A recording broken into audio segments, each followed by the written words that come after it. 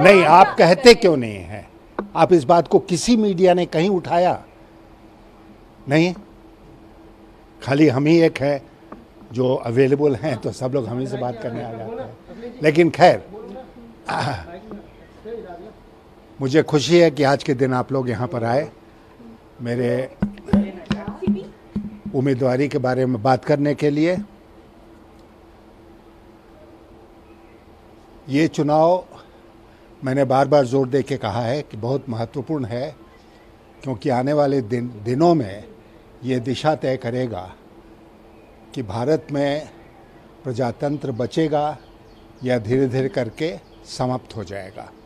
अभी तक जितने संकेत मिल रहे हैं, उससे यही लग रहा है कि हम समाप्ति की ओर बढ़ रहे हैं। और इसीलिए पूरे देश में घूमकर और मीडिया के माध्यम से और भी जितने माध्यम उपलब्ध से, उनके माध्यम से मैंने पूरे देश में ये संदेश देने का प्रयास किया है कि ये राष्ट्रपति का चुनाव क्यों इतना महत्वपूर्ण है।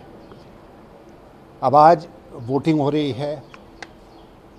मैं सारे मतदाताओं से अपील करना चाहता हूँ कि वो अपनी अंतरात्मा की आवाज़ सुने। ये वोट जैसा आप जानते हैं, इसमें पार्टी का विप नहीं जारी होता है और इसमें सीक्रेट बैलेट होता है। तो इसलिए हर किसी से उम्मीद की जाती है को अपने विवेक अनुसार इसमें वोट डालेंगे। मैं उम्मीद करता हूँ कि जितने मतदाता हैं पूरे देश में वो अपने विवेक का इस्तेमाल करेंगे और प्रजातंत्र को बचाने के लिए मेरे पक्ष में अपना वोट कास्ट करेंगे।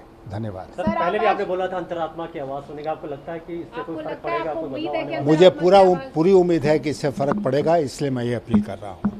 सर बीजेपी बहुत कॉन्फिडेंट है अपने नंबर्स को लेके कि उनके तरफ़ से जो एनडीए का जो कैंडिडेट है वही प्रेसिडेंट बनेंगे। तो तो फिर करने की ज़रूरत क्या है चुनाव?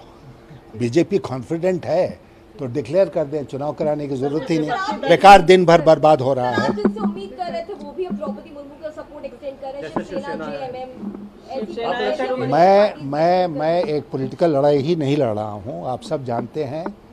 कि मैं सरकारी एजेंसियों के खिलाफ भी लड़ाई लड़ रहा हूँ। इसमें सरकारी एजेंसियाँ बहुत सक्रिय हो गई हैं और राजनीतिक दलों में तोड़फोड़ करवाने का काम कर रही हैं। लोगों को इस बात के लिए बाध्य कर रही हैं कि वो उनके पक्ष में वोट डालें और पैसे का भी खेल हो रहा है। सर क्या आप आज